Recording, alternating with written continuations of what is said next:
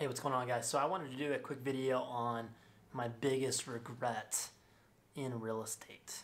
Um, and what I mean by that is when I was 19 or 20, I was on the cusp of being 20 maybe. Um, at the time I lived in Colorado. I live in South Dakota now in the Black Hills. But at the time I lived in South er, in Colorado, and I lived near Colorado Springs, I lived in Pueblo. I was working in Colorado Springs at the time, and I uh, befriended a real estate agent it's kind of how I got started in real estate. I befriended him. He uh, showed me kind of the, how the lifestyle was, what the business was like, and that type of thing. And he encouraged me. He said, Christian, you should definitely buy a house. And, you know, I was kind of like, okay, you know, I'm 19, 20. I think at the time I was probably making 50,000 a year-ish, maybe 60. Um, so I was making good money for my age, especially. And so I, you know, I was like, yeah, I could probably afford them pretty easily. So we went through the process, and um, you know, at the time, he said, the market's going to explode. He was like, the market in Colorado Springs is going to keep going up. Can get a really good deal right now on something and, and uh, build for the future. So we looked at a few homes and I, was, I don't know why, I was just kind of nervous about it. Didn't want to get stuck to a property, that type of thing. Anyways, we find this property. He's like, I think you should make an offer on it. And I think it was a, it was a three bed, two bath, maybe 2,000 square feet. And it was kind of like a condo townhouse setup. It was its own building, but it was in like a complex and it had amenities and stuff like that. Anyways, long story short, it was about $120,000 for this townhouse, okay? In a really nice part of Colorado Springs. So we put an offer in on it at, I think, 5000 less at 115 They accept it right away.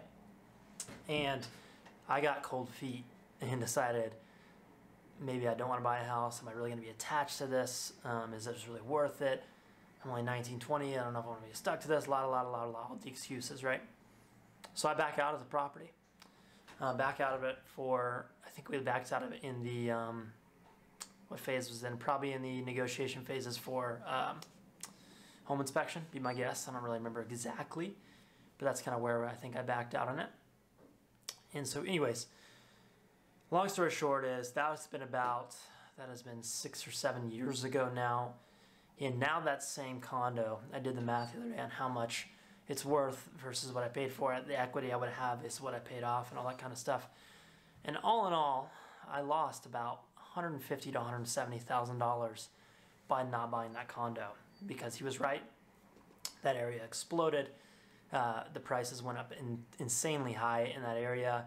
Uh, my equity would have been great. I would have got such a good deal on it that I could sell it for probably, you know, almost 150,000 more than what I bought it for, which is crazy that it went up that much in that short time period. But I definitely regret doing that, you know.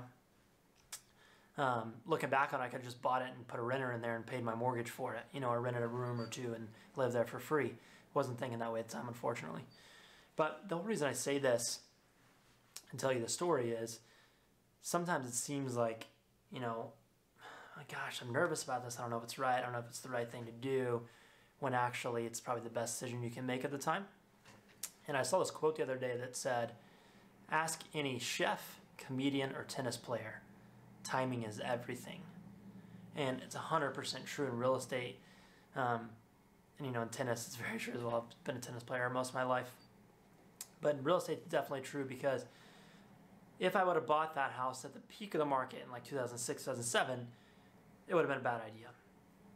But if I would have bought it six, seven years ago, it would have been a great idea because the timing of when I bought it. Now, a lot of markets in the U.S. right now are still on an incline, um, and especially if you're in the Black Hills area, uh, South Dakota is an extremely incline right now, more than we have been for the last 15, 20 years. And all the experts that are much smarter than me are saying that's going to happen. It's going to continue to happen for the next five, 10 years.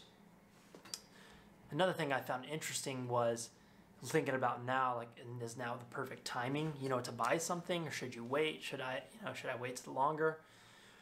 Out of the last six market recessions, so that is a market recession is technically um, two straight quarters of the market declining, um, the stock market declining. That's called a recession technically.